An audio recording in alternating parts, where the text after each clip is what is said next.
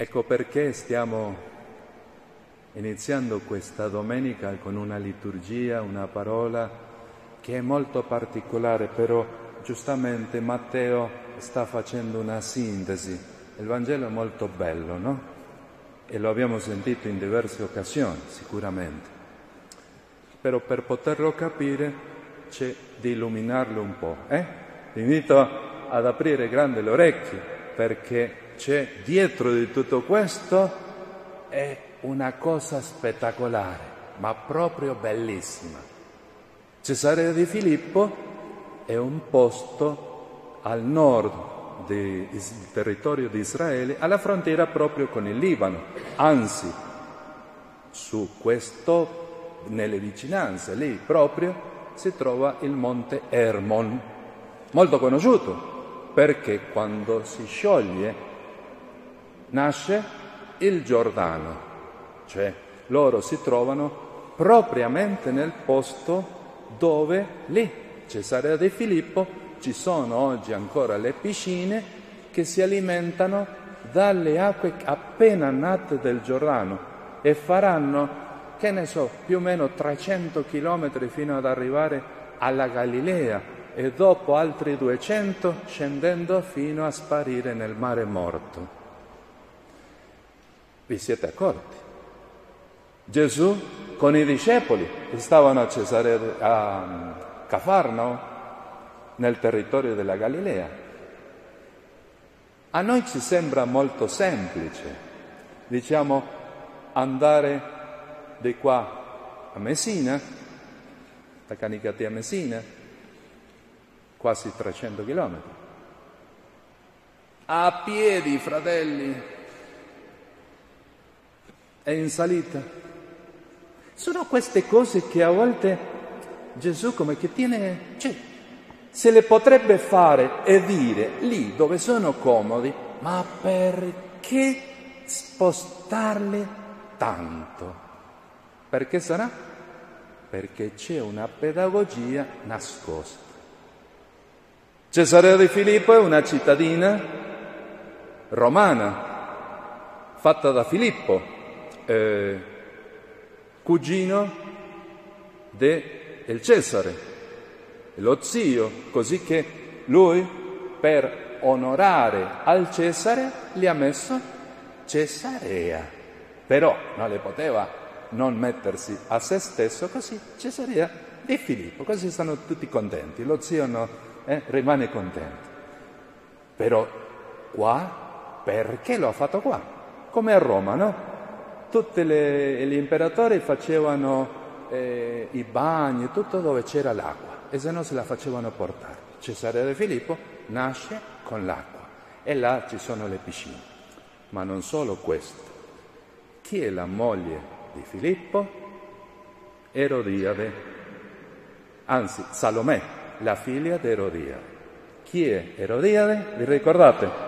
Giovanni Battista porta eh, le dà la figlia a Salomè che porta in un vassoio la testa di Giovanni il Battista. Guardate, no? Questa bella coppia si sono fatti il palazzo lì al nord alla frontiera con il Libano. Ma non è solo questo il punto, è che una zona così pagana, terribile. Se Betlemme è la città del pane, significa questo, a Cesarea di Filippo c'è il tempio pagano del pane. E oggi si trova nelle rovine. Lì Gesù è andato a chiedere la professione di fede in un posto pagano, non solo il posto pagano dove adorano il Dio che si fa presente, diciamo, della provvidenza, però è un Dio, idolatri nel momento della festa del Dio del pane, Gesù porta i ragazzi lì. E là fa la domanda. Adesso possiamo capire, no? Che dice la gente che sia io? La gente è piena di pagani. Che cosa potevano dire?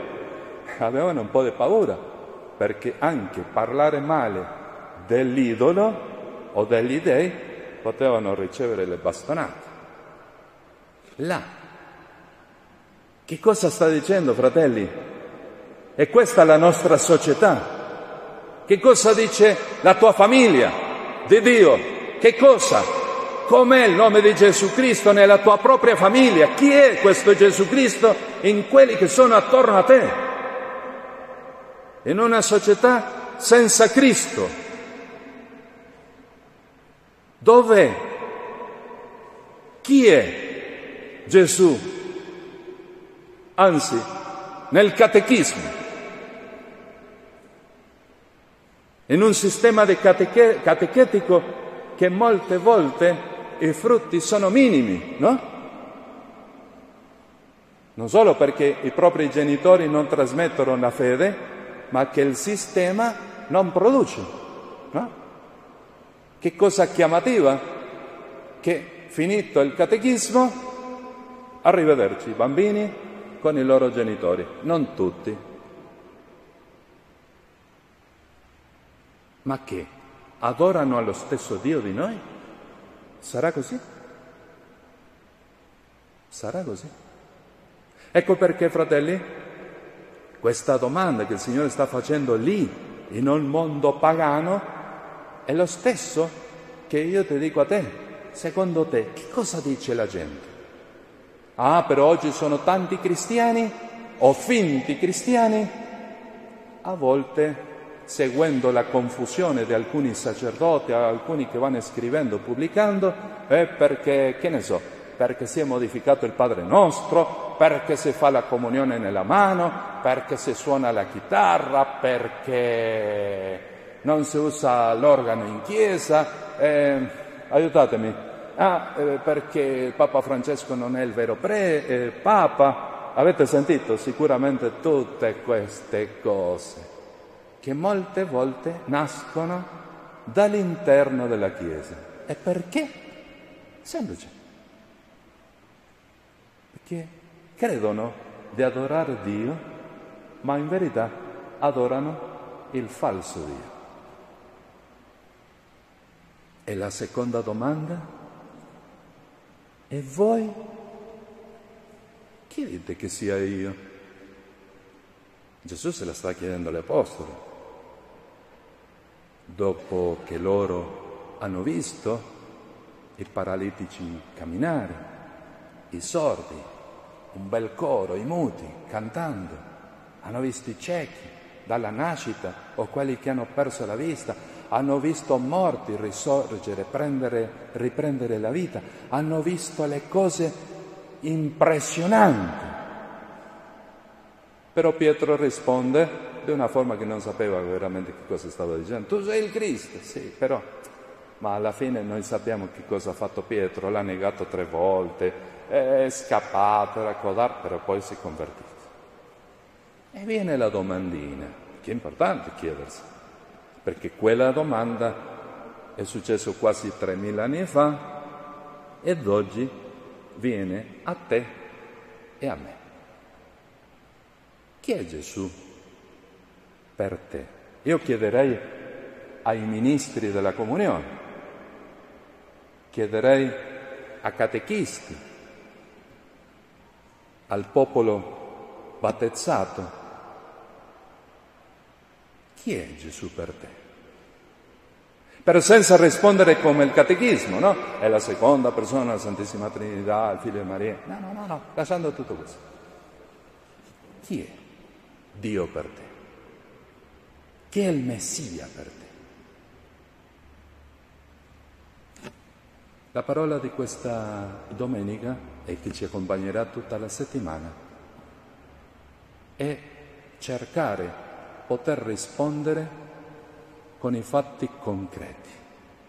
Che significa fatti concreti?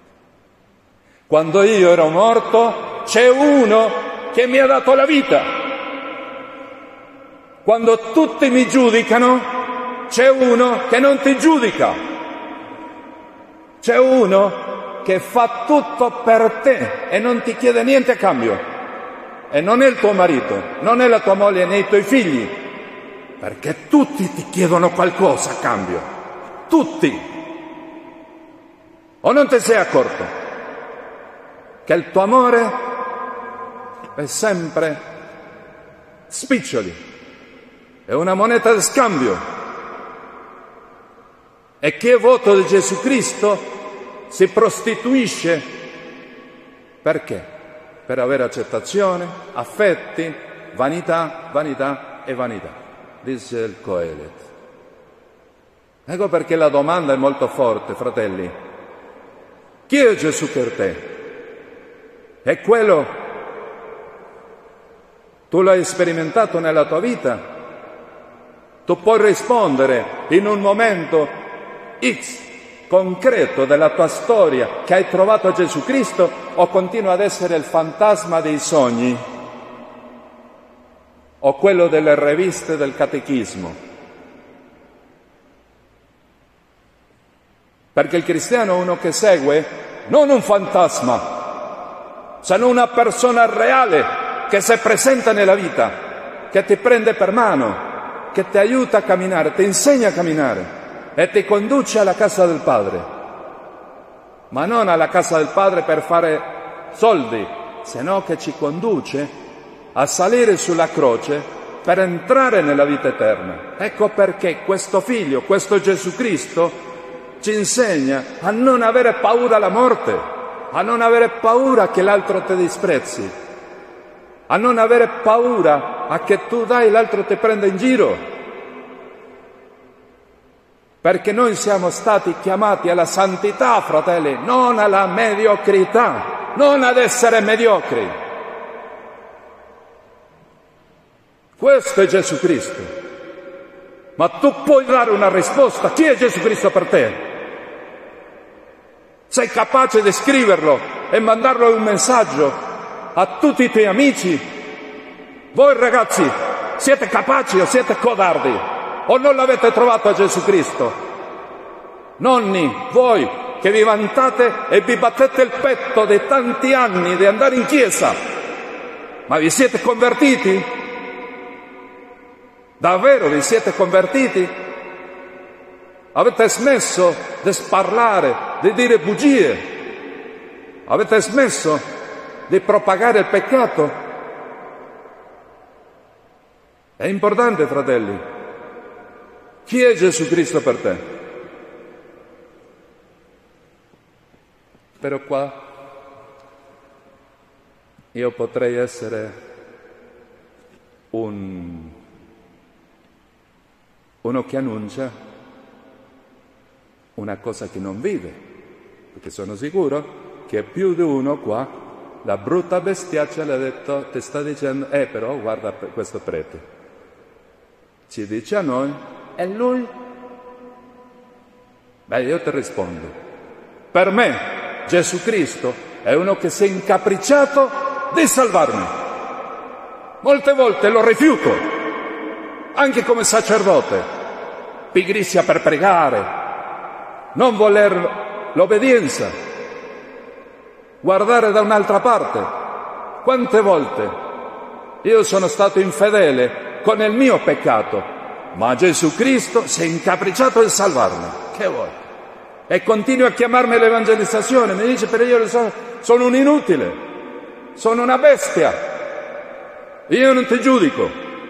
Questo che sperimento ogni volta che io mi confesso, trovo le parole nascoste di Gesù Cristo che mi sta dicendo io non ti giudico.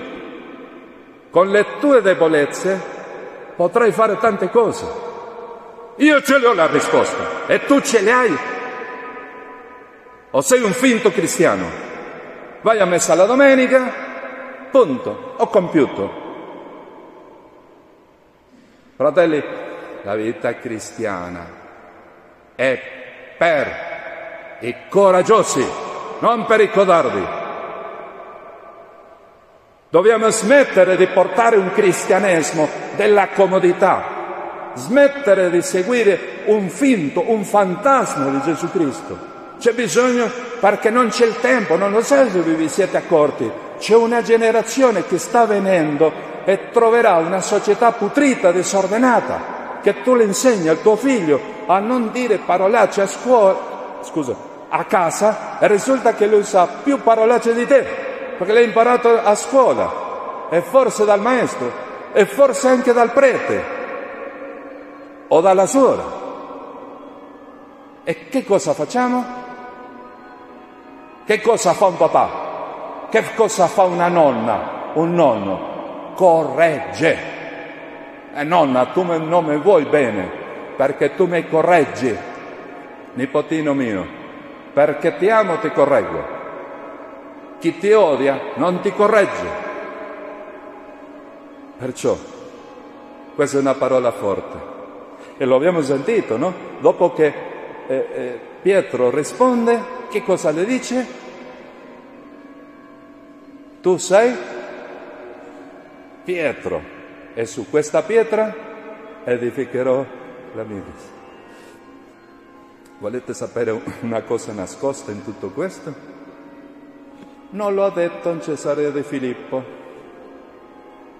lo ha fatto tornare a Galilea, vicino a Canà, oggi c'è la chiesa e c'è una pietra grandissima, dove lì il Signore ha detto tu sei Pietro. Mi avete capito? Non l'ha fatto, il Vangelo lo mette una cosa collegata come, con l'altra come se fosse successo nello stesso momento. E no, la professione di fede praticamente l'hanno fatto al nord, alla frontiera con il Libano. Poi sono scesi vicino a Canà, le ha detto tu sei Pietro e su questa pietra edificherò la chiesa. E poi istituirà il sacramento della riconciliazione, un bellissimo sacramento della confessione dei peccati, che purtroppo alcuni, preferendo vivere nella porcheria del peccato, lo rifiutano, come tanti pagani. Eh? Ed è bellissimo questo. Vi siete accorti? Il capricino di, di Gesù? Farli fare centinaia di chilometri per la professione e poi scendere un'altra volta sul mare Galilea per dirle questo. E qua il brano del Vangelo ce lo mette così semplice, perché sa che questa comunità ha capito geograficamente che cosa sia successo. Fratelli, perché la liturgia li mette insieme? Perché se tu non ti avvicini ai sacramenti, non potrai mai scoprire il vero volto del Salvatore, del Messia, del Cristo. Rimarrai con la, l'immaginetta di Gesù, figlio, eh, figlio di Maria, ma non il Gesù il Messia, perché quello si sperimenta attraverso i sacramenti. Che bella che è la parola, no? Perché ci stai spingendo a questo, a combattere non da soli, se no con questa potenza spirituale che il Signore ci sta regalando. Così sia.